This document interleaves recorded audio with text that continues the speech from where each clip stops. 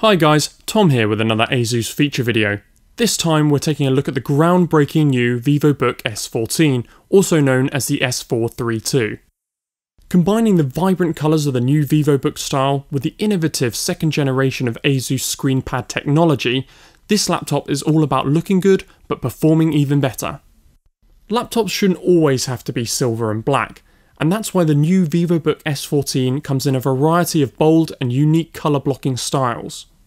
These latest colour combinations and exquisite finishes highlight the intricate designs of the VivoBook S14.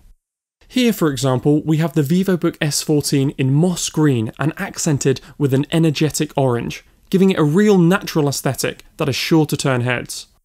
But to find your perfect colour, check out the whole spectrum through the link in the description. Now it's pretty much impossible to speak about the VivoBook S14 without mentioning its brand new feature, the ScreenPad 2.0. Designed to upgrade your traditional laptop experience, the 5.65 inch interactive touchscreen unlocks endless possibilities. Utilising a smartphone like interface, the newly optimised ScreenPad ensures your favourite apps such as Evernote and Spotify work perfectly on this secondary display, without the need for a ScreenPad specific version. ASUS have also pre-installed a selection of apps designed to work with Microsoft Office programs, as well as working closely with other third-party developers, including video editing software developer Corel, and as development continues, there is much more to come. But that's enough about the secondary display, let's talk about the main event.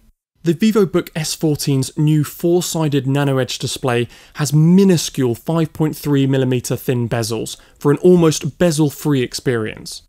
This 88% screen to body ratio is further enhanced by a 178 degree wide viewing angle, which is perfect for sharing work or watching a movie.